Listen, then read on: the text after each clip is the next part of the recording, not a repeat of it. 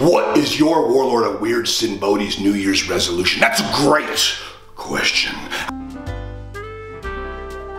This is my New Year's resolution.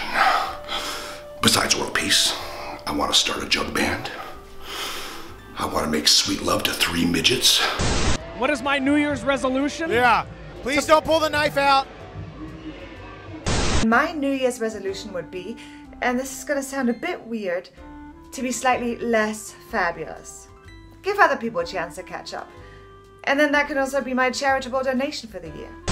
I want to fight lots of people without any legal ramifications. Here's looking at you, Bray Wyatt. I just want to be happy. I want to have fun. And I want Mark to grow up. Stop! Please! Mark E. Xtreme. I want you to grow up. And let Skeeter come over and play.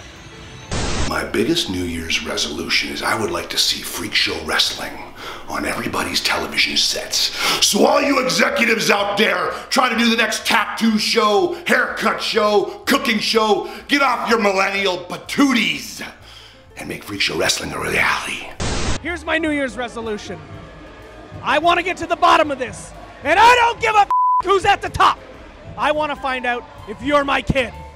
My New Year's resolution is to see freak show wrestling become the next South Park.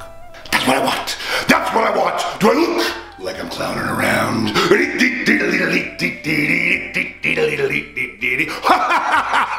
Happy New Year, everyone.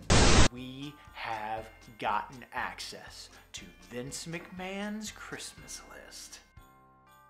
It's so exciting. I like it when I find out Christmas lists for people. I know. Getting them gifts. Vince McMahon might not be too happy we're doing this, but we frankly we don't give a damn.